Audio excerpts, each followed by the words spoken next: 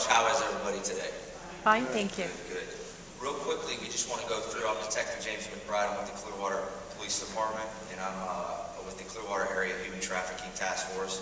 I've been the only full-time, besides my partner, Cal Cundiff with the Florida Department of Law Enforcement, we're the only two full-time detectives in the Tampa Bay area that look into this. So, real quickly before we get started, we just want to get everybody on the same page to understand that human smuggling human trafficking are two different things.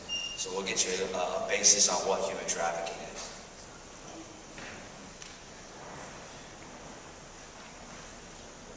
Human trafficking is a, uh, is a form of modern-day slavery.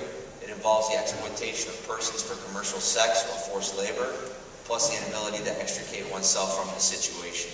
Uh, a lot of times what you're going to see the traffickers employ force, fraud, or coercion to control their victims to have their victims, basically, it's, it's, it's to make money for an organization.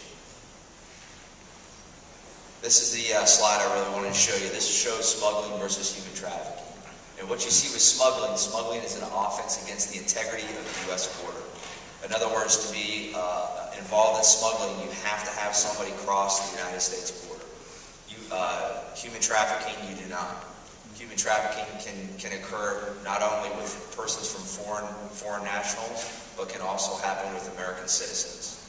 Uh, and we're also starting to see where, where trafficking can happen with U.S. citizens going out of the United States into other countries.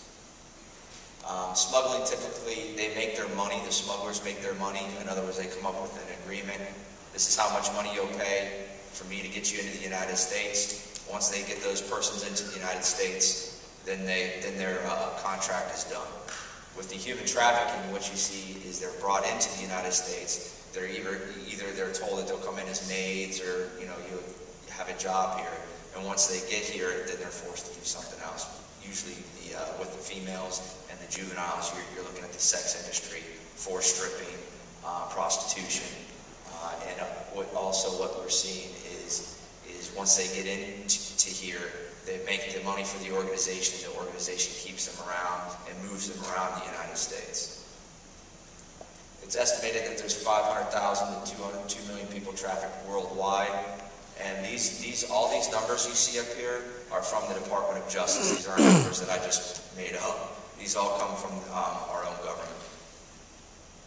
It's estimated that 70% of the victims are female um, with trafficking. The, it is the second most lucrative business in the United States um, besides drugs. We actually have seen in our own area, and we're seeing throughout the United States, a lot of drug organizations um, that are, are turning over to doing human trafficking because of the profits, one, and two, the penalties are a lot less. You bring in a lot of cocaine, you bring in a lot of uh, um, heroin, you're going to do a lot more time than you are if you're just uh, um, trafficking women in for the purposes of prostitution or some other form of labor. Uh, we wanted to keep that brief and short just to kind of get everybody on the same page and see the difference between smuggling and trafficking. And uh, I appreciate your time and having me here. Thank you.